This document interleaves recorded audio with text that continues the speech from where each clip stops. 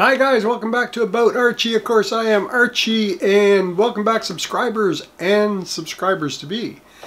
Now, if you've been trying to get the lighting on your Wraith Prism cooler uh, that may have come with your Ryzen CPU, if you're trying to get that to light up and you're getting a window that comes up and says, please plug in your CM device, and you're going, what's happening? Man, my CM device is plugged in. I've got the solution. So stick around, I'll give it to you in about three seconds.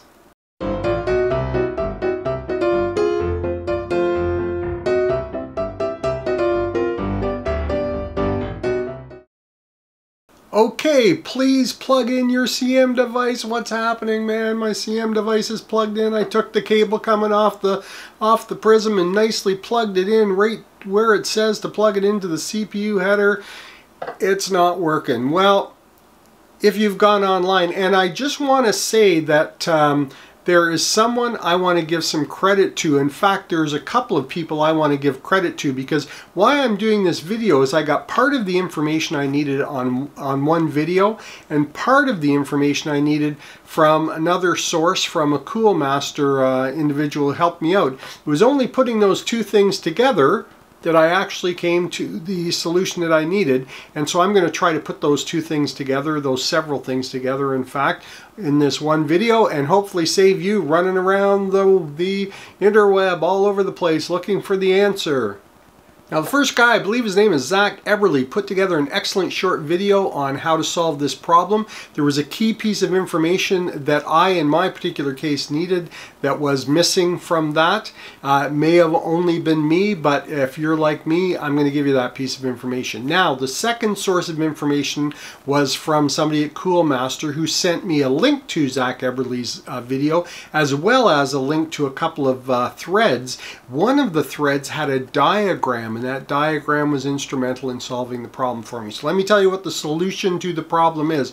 Okay, so there's one cable coming off the Wraith Prism when you get it there is a second cable you need to be using. Now, if you get a little confused like I did because you didn't see any second cable, you will, like me, realize that, oh yeah, I think I saw a couple in the very bottom of the box, a couple of extra cables. Wondered what those were for dig out those cables. There's two cables there. Do not use both cables.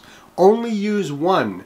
You use both cables, it'll give you a whole other set of problems as people in the forums have discussed uh, over and over again. Use only the one that says on the one end it should be stamped USB connector. USB, it'll say USB right on it.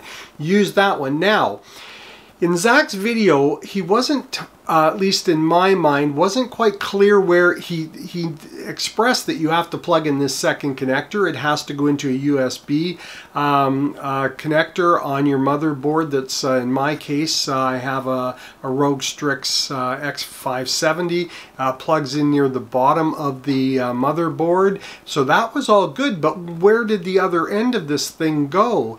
And obviously into the Wraith Prism somewhere, but it appeared to me like it was it had to go in this very awkward place that was going to involve me uh, dismounting the prism and, and uh, just new thermal paste. It was going to be a nightmare.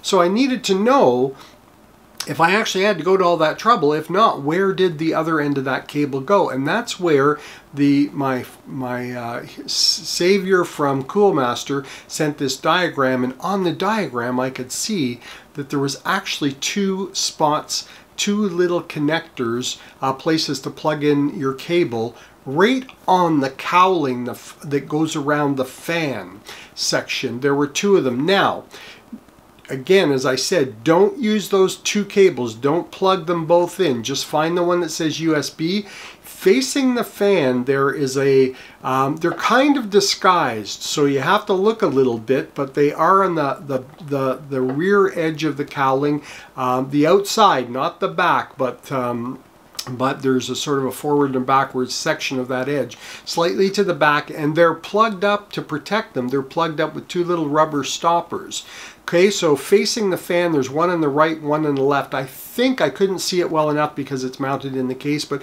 I think the one on the right might be a small four pin, the one on the left a small three pin. So that's where the other end of this USB connector should plug in. So uh, plug that connector in, the small uh, the small three pin in, on, on, the cowling of the uh, prism.